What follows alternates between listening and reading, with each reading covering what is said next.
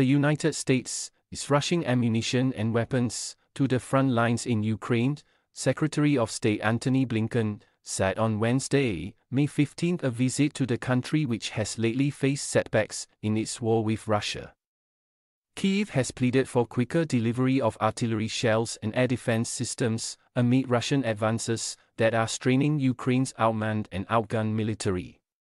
Moscow's forces have also stepped up attacks on Ukrainian energy infrastructure in recent weeks, far behind the lines of its 26 month old full scale invasion. We are rushing ammunition, armored vehicles, missiles, air defenses, rushing them to get to the front lines, to protect soldiers, to protect civilians, Blinken said during a press conference in Kiev. The top diplomat is the most senior U.S. official to visit Ukraine since the U.S. Congress passed a long delayed $61 billion aid package last month.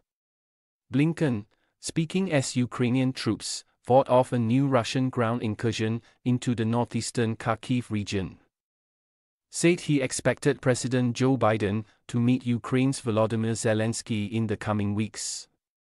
He also said Washington has not encouraged or enabled strikes on Russia, but that it was Ukraine's decision about how it is going to conduct this war.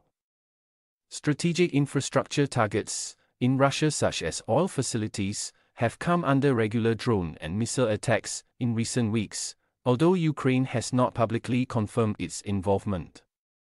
We will continue to back Ukraine with the equipment that it needs to succeed, that it needs to win, Blinken said.